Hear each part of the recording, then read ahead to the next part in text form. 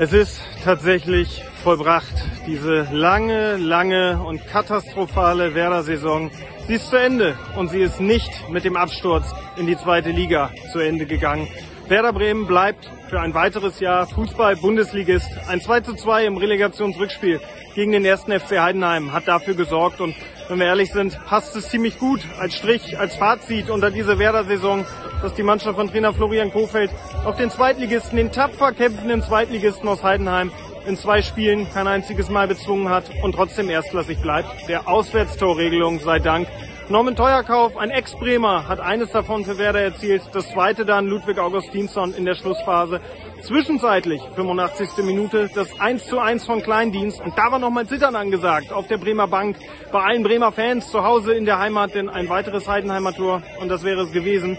Aber das ist nicht gefallen, beziehungsweise schon, aber zu spät. Denn Ludwig Augustinsson, wie gesagt, hat Werder mit seinem Tor 2 zu 1 in Führung gebracht und Kleindienst Elfmeter dann in der achten Minute der Nachspielzeit hat Heidenheim nichts mehr genützt. Die Mannschaft bleibt in der zweiten Liga. Werder-Trainer Florian Kofeld hat sich nach dem Schlusspfiff, der fast mehr erschöpft denn erleichtert präsentiert. Er sagte, bis der ganze Druck jetzt von mir abgefallen ist, das wird ein bisschen dauern, aber heute darf definitiv gefeiert werden, denn auch das hat er betont.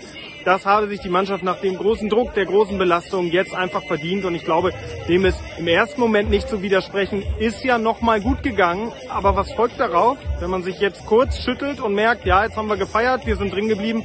Ja, dann wird jeder bei Werder merken, und das weiß auch jeder jetzt schon, dass dieses Jahr ein ganz, ganz mieses war und dass es so auf keinen Fall weitergehen sollte. Florian Kofeld hat eine ganz ähnliche Wortwahl benutzt. Er hat gesagt, es kann nicht so weitergehen und es wird nicht so weitergehen. Die Woche der Großanalysen steht an bei Werder Bremen. Verschiedene Gremien, alle, die im Verein etwas zu sagen haben, kommen zusammen, beraten sich und ja, versuchen herauszufinden, in welcher Konstellation es in der neuen Saison am besten weitergehen kann. Besonders im Fokus dabei natürlich Trainer Florian Kofeld und Sportchef Frank Baumann. Der hat hier in Heidenheim vorne im Innenraum des Stadions kurz bevor die, die Veranstaltung dann offiziell zu Ende ging, äh, ja, mehr als nur durchblicken lassen, dass es ziemlich wahrscheinlich mit ihm als Sportchef und Kofeld als Trainer weitergeht. Auf die Frage, ob er Kofeld weiterhin für den besten Trainer hält, hat er genickt. Und auf die Frage, ob Kofeld das selber denn auch so sieht, ob er weitermachen möchte, bestätigt, ja, der hat die Kraft für dieses Jahr. Ich kann mir das gut vorstellen, dass er das möchte. Von Baumann selbst wissen wir ja schon seit vielen Wochen, dass er sich als den richtigen Mann weiterhin auf der Sportchefposition sieht und gesagt hat, ich sehe das als Teil der Verantwortung, nicht wegzurennen, wenn es ja auch mal schwieriger wird. Das äh, gehört dann dazu. Frage ist, was der Aufsichtsrat möchte und verlangt, aber es riecht sehr, sehr stark danach, dass es bei Werder in derselben Besetzung weitergeht, in der diese Saison zu Ende gegangen ist.